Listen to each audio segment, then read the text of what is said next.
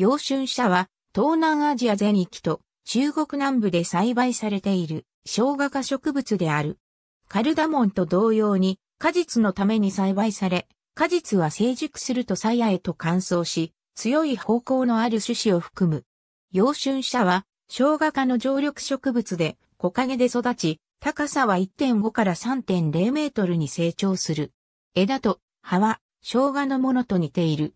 陽春茶は地面に広がった花が果実をつけるのに対して枝状の花はつけないという特徴を持つ。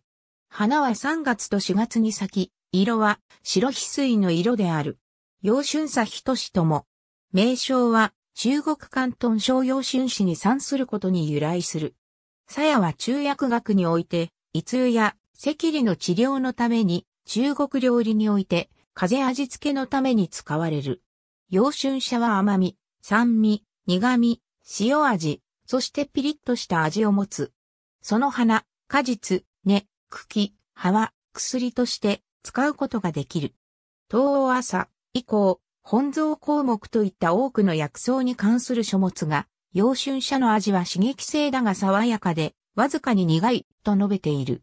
砂人氏中薬の砂人氏は、陽春茶、海南茶人、宿舎を起源とする。日本薬局型に収載されている生薬宿舎は、A、キサンテオイズボールを起源とする。陽春茶は、良い薬味、香辛料である。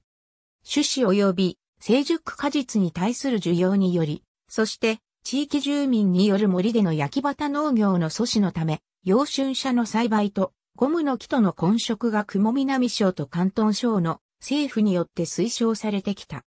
しかしながら、森林における陽春社の広範な栽培は、中国西南部の熱帯雨林における種の多様性の減少をもたらしている。